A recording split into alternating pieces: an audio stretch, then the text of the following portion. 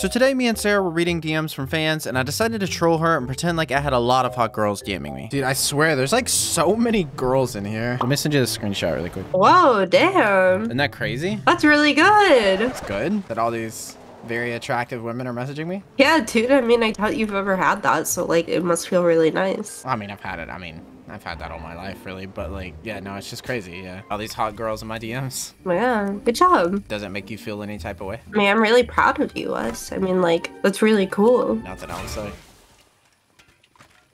If you want to see the full video, the link's in the pinned comment.